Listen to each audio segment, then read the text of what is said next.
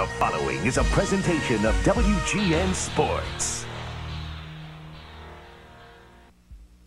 Last night's game was a textbook example of the Cubs' challenge this season. They're chasing the wild card spot while the rest of the world chases Sosa and McGwire. Steve Trachsel almost got lost in the glare, but stole the show with an outstanding performance against the Cardinals.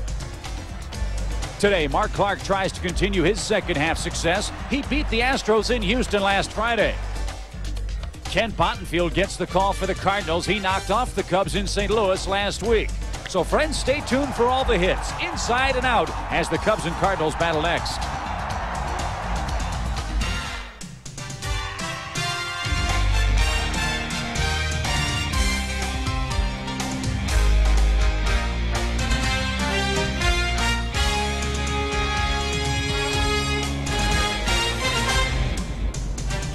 Standing room only crowd on a beautiful day for baseball here at the friendly confines of Wrigley Field as the Cardinals come a calling for the final time this year. The Chicago Cubs take them on in game two of the two game series. Hello again, everybody. Welcome to Cubs Baseball. I'm Chip Caray, joined by Steve Stone.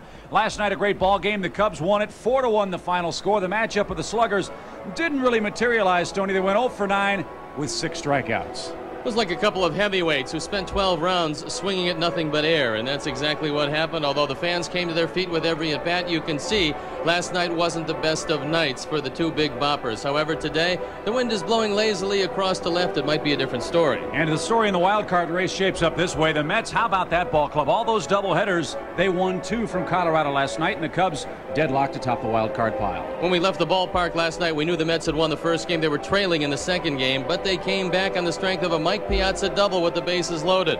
Now a virtual tie for first place with San Francisco three back and the rest of the league kind of falling back. So every game for the Cubs, a big game. And with that in mind, we've got Mark Clark going to the mound, and he threw a gem last time out against Houston, and maybe a measure of payback against Kent Bottenfield because he threw very well against the Cubs in St. Louis. Indeed, he did. There is your pitching matchup. A roster move for the Cubs today. Mm-hmm. Gary Gaetti has been signed. He is in uniform. He will be eligible for pinch hitting duties as he's not in the starting lineup tonight. Cubs and Cardinals, it's game two of the series. Let's enjoy our national anthem. Your caps as the United States Army Recruiting Battalion presents the colors for this afternoon's game.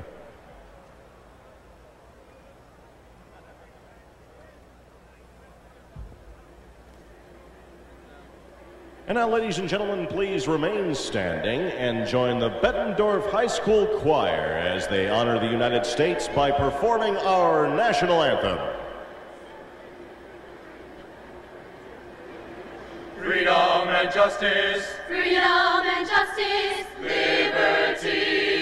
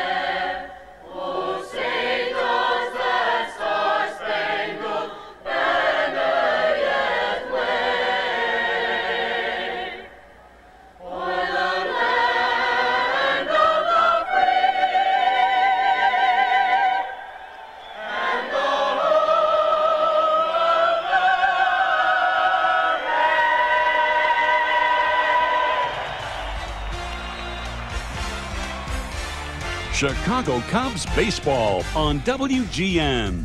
Brought to you by Brewery Fresh Budweiser, the official beer of Major League Baseball. The new Dodge. From cars to minivans to trucks, it's about change. The new Dodge. The Discover Card, the card that pays you back with a cashback bonus award. AutoZone, the best parts in auto parts. Pepsi, Generation Next. ComEd, the official electric company of the Chicago Cubs. ComEd, what do you do with your power? And by Southwest Airlines, offering low fares and frequent flights. Southwest Airlines, the official airline of the Chicago Cubs.